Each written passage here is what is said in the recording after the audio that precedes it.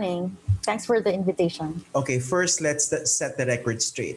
Uh, based on the narrative that is prevailing now, the Nayong Pilipino Foundation is opposing the building of a mega vaccination facility on the property uh, for environmental reasons. But what is the real reason? And are you even uh, opposed to the idea of having that mega vaccination facility there? That's not true. Actually, we gave our approval for the use of the land as a vaccination facility in April 8th. Uh, what we ask is that we follow all the legal processes for use of the land under an emergency. So what happened was the proposal came from the private sector, ICTSI Foundation. So when you the laws require that the use of public land should be public, which means that it should be a government agency running it. So in this case, we were waiting for DOH. Um, it would be illegal for Nayong Pilipino to give the land for free use to ICTSI Foundation on the basis of a mere letter and a YouTube video. So what we want is for the law to be followed, which means that the memorandum of agreement should be with the proper government agency and should be clear as to what exactly will be done in Nayong Filipino. Isn't this clear uh, during the previous conversations that you guys have had? That was very clear. Uh, there were concerns about the use of the land because under the executive order governing its use, it's meant to be a park. So there's the first issue. Can it be used as a vaccination center? Um, and then they said pursuant to the emergency powers of the president, but that one needs to be documented. So where's the request from the Department of Health that it needs the land. That's what we were looking for, especially since during a meeting at the National Vaccination Operations Committee, the DOH signified that it was not asking for the land. So the second question is, can we allow the private sector to use it? And the use by the private sector for government land needs to uh, comply with so many laws, so none of which um, have been are in place should we treat that as an unsolicited proposal, for example? Uh, and that's why we've been we've written DOH, we've written and Secretary Galvez asking for details so that the proper MOA setting forth that the use of the land is for an emergency purpose are clear. Okay, so so basically, you have no problem with the uh, with the idea of using part of the Nayong Filipino property for a vaccination center, No, but they need yes. to but they need to iron out the the legal uh, issues and to Yes. fix the MOA, the memorandum of agreement. Yes. That is the point. Yes. But why didn't they do that? Uh, as far as you know, I don't know. We've been writing them. We've asked the DOH, are you asking for our land? Can you sit down and write up the MOA? So it's not DOH that's doing that. We have not received an answer from them. So we're wondering where's this coming from and then why it's become about uh, it's they're making it appear that we're against it because of the trees. Uh, we just wanted to point out that Nayong Pilipino land is within the buffer zone of a protected area. Environmental laws are still in place, and we still have the duty to comply with those environmental laws. So that's what we pointed out. If you're going to be building anything there, then let's go through the process of building within the buffer zone of a protected area. and uh, it has to meet all the legal requirements. Uh, okay, but but in this case, you made all these things clear to them during the meetings. Yes, that was Okay. very clear. But and what, what was- what was the response? Well, it was DOT that was uh, rushing us to um, enter into an agreement that DOT drafted. And we didn't understand why DOT was the one doing it when it's supposed to be DOH that's in charge of vaccination. And Isn't it we asked- because isn't it because you're under DOT? No, because uh, Nayong Filipino is an attached agency. The power of DOT over us is supervision, which where we follow the policy direction of the mother agency. Ah, okay. But so attached sa ganun siya sa, Attached. sa chart. Okay. Yes, but it cannot. Um, it does not exercise the power of control, which is to substitute its judgment uh, over that of the board. Yeah. Be- be- Because normally, uh, people observing this issue might can, can easily think na what, what's a big problem? The, the the government can exercise its uh, its police powers and basically compel a property uh, with the with a GOCC for use of vaccine for vaccination, right? So that is the the basic issue here. That's very clear to us, but there are documents that need to exist before that can be done. So a memorandum of agreement uh, from Nayon and then allowing the private sector uh, to use the land for free. I mean, imagine this is about seven hectares worth billions. And then we allow it to use for free just because of the claim that they're going to make a vaccination facility. That's not sufficient because under the law, uh, the Board of Trustees has this duty of extraordinary diligence. So we need to ask. Um, so, for example, if you say police power, then perhaps the president can just issue an executive order and allow that. Then that's already outside the hands of the board. But if you're going to make it an agreement, then we have to follow the law and ensure that the use of government property uh, is for um, public use. Oh, so it seems the issue is sim- uh, simple, right? So if they want to you make use of that for vaccination, just uh, provide the proper paperwork. In this case, Right. perhaps an executive order from the president. Is that Might what you're better. saying? That's, Mhm. that, that would have been faster if they did that before uh, instead of asking the board because the, the board has to rely on other documents to be able to say that all the requirements of law are met. So we requested these documents. For example, when Secretary Galvez wrote us, he said that it was pursuant to a partnership agreement between NTF and ICTSI. So we said, where's that agreement? Because if you write up a MOA, then you're going to say, whereas NTF has a partnership agreement, then we'll write that down. Then we'll put that uh, as part of the legal review because all contracts of GOCCs need to be submitted to the Office of the Government Corporate Yeah. Counsel. Okay, so basically you're being being careful because that's part of your job. So that later Yes. on, if people would like to go after you, you would have the proper paperwork. Correct. Yes. Oo, kasi baka maimbestigahan kayo sa Senate or sa House. And these things happen definitely. Um, but how big is the facility really, the proposed facility? We have no idea. And that's also another thing. What do we put in the MOA? Where the only thing shown to us was a YouTube video. Uh, when that uh, was YouTube, first YouTube vi- video of what? Uh, it's a YouTube video of a vaccination facility in the United States, and it looked like a parking lot.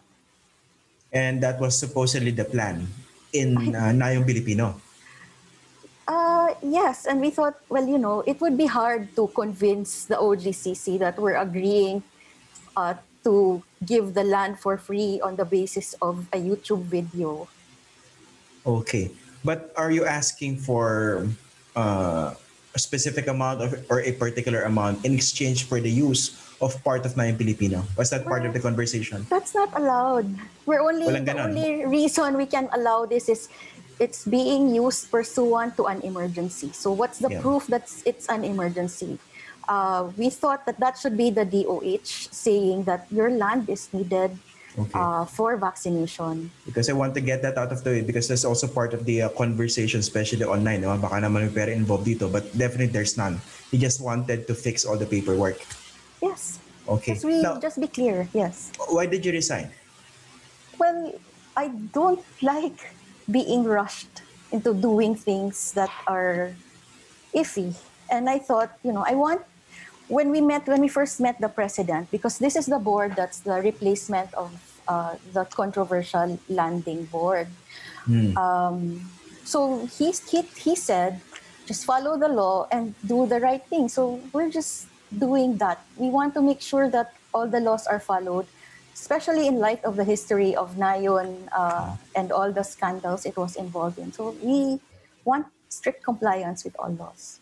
Okay, uh, that's understandable. I remember that controversy. Uh, Nayong Pilipino Foundation took a big hit regarding that. Basically, the, the board was wiped out, I understand, Yes. afterward. Okay. Now, how would you respond to this comment coming from um, Enrique Razon, the, the tycoon, uh, as reported by the Philippine Daily Inquirer? He described you guys as idiots for for opposing this supposedly. Well, you know, he can call us whatever he wants. We just want to follow the law.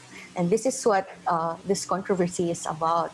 We follow the law. Use of land uh, by the private sector is not allowed. We're waiting for the DOH to say that it needs the land. And then we'll execute the proper MOA. Or, of course, the president can always issue an executive order, and then that would be the end of it. There's no need for a MOA anymore. So in short, you cannot deal directly, for example, with the ICTSI Foundation for No, temporary use of this facility. That's not allowed. Okay. Now, uh, what's the truth about the the concern that a part or a big part of the opposition coming from uh, from you and your fellow members of the board uh, that this might lead to the abrupt cutting of trees, around 500 if I'm not mistaken. Yes, because Is, is uh, that is that part of the plan really uh, during the conversations that you had? Well, actually, the number came from the contractor of Mr. Razon. They were the ones tagging the trees because even before uh, earlier, because they already wanted Nayon to apply for tree cutting permits. So that's how we found out about that number. Our position has always been um, it's part of the buffer zone of a protected area. Um, So, which means we comply with all the environmental laws that uh, are present. But so, so definitely that was part of the concerns that uh, a, a good number of trees would be would have to be cut down to give way to this vaccination facility. Yes, that's that's also a concern because uh, who cuts down trees in the middle of a pandemic in a city with no more green and open spaces? So that was a concern, and that was also raised by the architect of Mr. Razon, who said that you know this is going to be a very difficult public issue if they discover that 500 trees will be cut. And we also thought that um, Nayon as a steward of the environment and who, and which describes its mission as celebrating cultural and natural heritage, that would be contrary to its beliefs, right? If uh, we allowed just like that the cutting of trees. But again, as you pointed out, this is an emergency, and if it's the president's decision to cut down all these trees, then that's his decision. But uh, as the board, uh, well, we just need to follow the law, which is buffer zone of a protected area. Then let's do whatever needs to be done with the DENR. Mm, Because part of the debate now is that why would you uh, withhold from cutting even a big number of trees when human lives are at stake? That's um, Yan ang sinasabi, di ba? But but is the proposition really that simple or there's another way?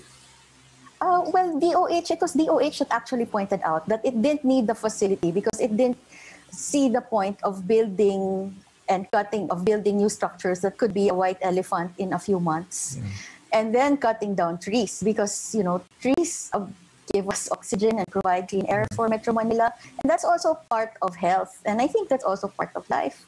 Uh, but like I said, our position has always been um, we will follow the law. And if there's an EO saying that cut down trees, and that's the decision of the president. But the board um, is bound by environmental laws and needs to follow. Okay, okay. Of course, you said you said that uh, that is the decision of the president. But would that be wise to actually cut down those number that that big a number of uh, trees to give way to a temporary vaccination facility when in fact there might be other open spaces or existing structures that could accommodate a temporary vaccination site? I, I wouldn't want to cut down uh, any trees considering that it takes years for them to grow.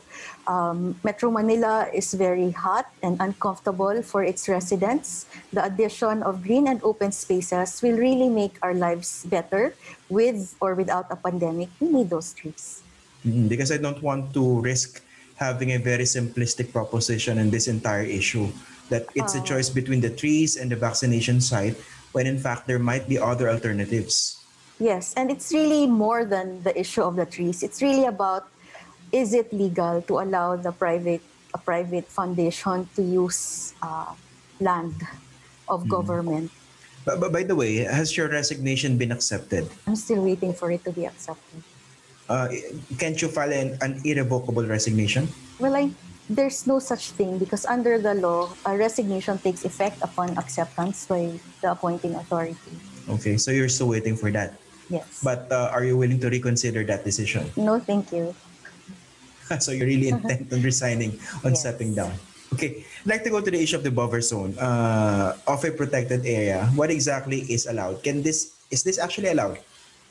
Uh, Y- have- y- yung, yung pagtatayo ng vaccination center in a buffer zone. Because we, we need to ask, there's something called the environmental impact assessment process. So we need to go through that. So whether it's allowed or not, that's up to the DENR. But that's really going to be pointed out that uh, here there are existing trees. And then there have been um, observations by the bird, uh, Wild Bird Club, as well as scientists of the existence of a thriving ecosystem there. Um, around January 2020, we, we brought scientists from the University of the Philippines. And um, as soon as we got in, we saw birds' nests, uh, no, bird eggs on the ground. Same observation from the Wild Bird Club last September. Uh, in a two hour bird watch, they were able to identify at least 25 species. And that's not even, uh, let's say, the full number of birds, uh, considering that it was not the height of migration season. So there could have been more uh, in December or November. And it's very unfortunate because uh, while of course human lives are very important, definitely, but if there's another way uh, to be able to accommodate such a vaccination facility without having to cut down those trees and fixing all the legal issues, that would be the uh, the best scenario. Because uh, again, it's very difficult to to confine this conversation in a very as a very simplistic proposition, either or, no. Yes. So I, we, we, we just want to say, you know, just follow the law. You do what's stated in the Constitution, in the uh, Philippine Auditing Manual. Just follow the law. Um, and that's what we're requesting. Attorney Kay Malilong Isberto, thank you for joining us this morning, ma'am. Thank you so much for the invitation.